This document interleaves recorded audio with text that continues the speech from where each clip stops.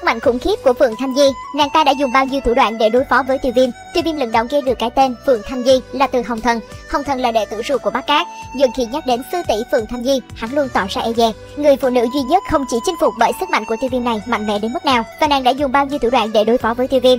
Hồng Thần tuy nổi tiếng ở Trung Châu Bắc Vật, nhưng Trung Châu không thiếu những thiên tài trẻ tuổi, đặc biệt là Mộ Thanh Loan của Tinh Vận Cát và Phượng Thanh Nhi của Phong Lôi Cát là hai người được chú ý nhất. Sau khi giải quyết vấn đề của hàng gia, danh tiếng của Tiêu Viêm vang khắp Trung Châu Bắc Vật, đặc biệt là sau khi hắn làm lộ tam thiên lôi động và giết chết trưởng lão Trầm Vân của Phong Lôi Cát, ẩn oán giữa Tiêu Viêm và Phong Lôi Cát càng trở nên sâu sắc hơn. Ngay cả Phượng Thanh Nhi ở Đông Cát xa xôi cũng nghe đến cái tên Tiêu Viêm. Khi Tiêu Viêm đến Thiên Mục Sơn, bỗng nghe tiếng hạt kêu vang vọng, một con hạt khổng lồ bảy sắc cầu vòng vỗ cánh, lượng quanh trên đầu vô số thiên tài.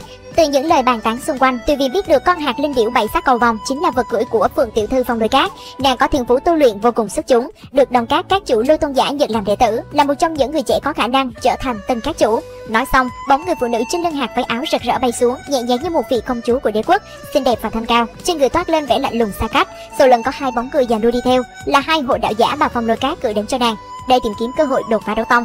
Phượng Thanh Nhi cùng tranh đoạt tư cách tiến vào Thiên Sơn huyết đàm. Lúc này Tiêu Viêm đã trở thành kẻ địch lớn của Phong Lôi Cát. Các trưởng lão không ngừng nhắc nhở nàng, dặn nàng phải cẩn thận với thiếu niên kia. Phượng Thanh Nhi nghe nói Tiêu Viêm có thể nhiều lần thoát khỏi tay Phi Thiên, cùng vô cùng kinh ngạc. Tên này ăn cắp bí thuật của Phong Lôi Cát, còn ngang nhiên thi triển Tam Thiên Lôi Động, hoàn toàn không coi Phong Lôi Cát ra gì. Nàng nhất định phải đòi lại công đạo cho tông môn. Mặt khác, nàng cũng muốn biết thực lực của Tiêu Viêm rốt cuộc như thế nào.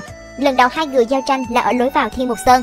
Phượng Thanh Di bước đi nhẹ nhàng, hào quang vàng nhạt lấp lánh, đang chuẩn bị bay vào cửa, không ngờ sau lưng bỗng vang lên một tiếng gió rít ầm ầm, một bóng người như sao băng vụt trên đầu nàng. Phượng Thanh Di nhíu mày, giơ bàn tay ngọc về phía bóng người đó, lập tức một lực hút cuồng bạo ập đến. Tiêu Viêm vung tay phản đòn, một cơn gió dữ dội cũng thổi ra từ đầu tay áo. Sau một tiếng nổ lớn, Tiêu Viêm từ trên không trung vẽ ra một đường cong rơi vào dãy núi.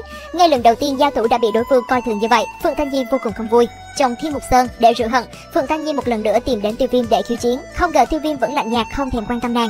Phượng Thanh Nhi vùng vẫy dãy lụa màu sắc rực rỡ tấn công vào chỗ hiểm yếu của Tiêu Viêm. Tiêu Viêm đột ngột quay người, hai tay như tia chớp vươn ra, túm lấy dãy lụa màu sắc. Ngọn lửa màu xanh lục hiện ra từ lòng bàn tay của hắn.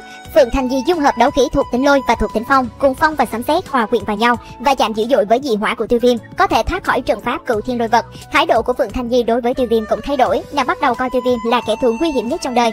Cuộc chiến chính thức giữa cả hai nằm trong chương cao trào nhất tại Trung Châu. Tại Tử Phương Cát đại hội để tìm Phong Tôn giả cứu diệt lão, Thi Viên một mình xông vào Đông Cát, nơi trụ sở chính của Phong Lôi Cát. Ban đầu hắn dự định đợi đại hội kết thúc mới đi tìm Phong Tôn giả để nói rõ mục đích của mình. Nào ngờ người tính không bằng trời tính, hắn tình cờ gặp được người bạn cũ Lâm Diễm tại đây. Để cứu Lâm Diễm, Tiêu Viêm vô tình bị Vương Trần là đệ tử Hoàng Tuyền Cát nhận ra thân phận. Trước sự chứng kiến của mọi người, Tiêu Viêm buộc phải lộ diện, khiến cho cả hội trường náo loạn. Nơi đây không chỉ có Phí Thiên, các chủ bắt Cát mà còn có Lôi Tôn giả đích thân chứng giữ. Cao thủ phong lôi cát như mây, Tiêu Viêm khó mà thoát thân.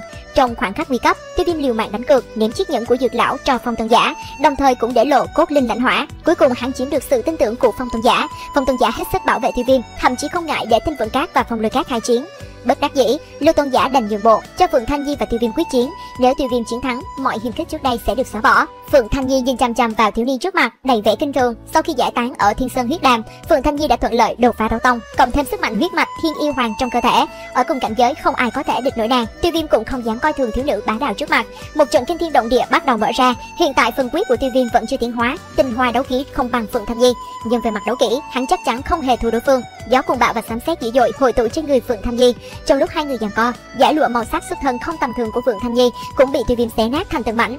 Nộ khí hiện rõ trên khuôn mặt Phượng Thanh nhi, nàng không còn bất kỳ kiên dè gì nữa, lập tức thi triển đấu kỹ dung hợp giữa Thiên Yêu Hoàng tộc và Phong Lôi Cát, Thải Phượng Triều Nguyên. Từng giải lụa màu sắc rực rỡ bắn ra từ cơn bão, truy đuổi Tiêu Viêm khắp nơi. Tiêu Viêm sử dụng lục hợp du thân sức như một tấm màn trắng, chặn đứng mọi đòn tấn công. Thấy rằng trận chiến đang lâm vào bế tắc, Phượng Thanh nhi một lần nữa thi triển tuyệt học phòng Lôi Tế của Lôi Tôn giả, một giọt máu từ da thịt nàng bay ra rơi xuống con Thải Phượng.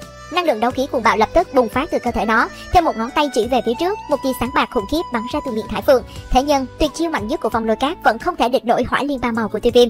Dưới sự giúp đỡ của Thiên Hỏa Tam Huyền Biến, hỏa liên bộc phát sức mạnh kinh hoàng nhất. Ngay cả khi Phượng Thanh Nhi đã hy sinh tình huyết yêu hoàng, triệu hồi sức mạnh thánh tượng và yêu hoàng cung cũng không thể chống lại sức công phá của hỏa liên. Phượng Thanh Nhi nặng nề ngã xuống đất, khiến cho mặt đất quảng trường nước nẻ. Trận chiến này là nỗi nhục nhã lớn nhất của nàng. Nàng chưa bao giờ nghĩ đến việc thất bại, luôn tự tin về huyết mạch viễn cổ bát tộc và sự hậu thuẫn của phong lôi cát. Không tin có ai có thể vượt qua được mình. Giờ đây, sự thật tàn khốc bày ra trước mắt. Khi trận chiến kết thúc, Lôi Tôn giả chỉ đành bất lực nhìn Tiêu Viêm rời đi. Không những không thể lấy lại bí pháp Tam Thiên Lôi Động, mà danh tiếng của phong lôi cát cũng sụt giảm nghiêm trọng. Tới đây thì cũng kết thúc rồi. Đừng quên nhấn like và đăng ký kênh để ủng hộ mình và những thông báo cho tập sau nha. Còn bây giờ, xin chào và hẹn gặp lại.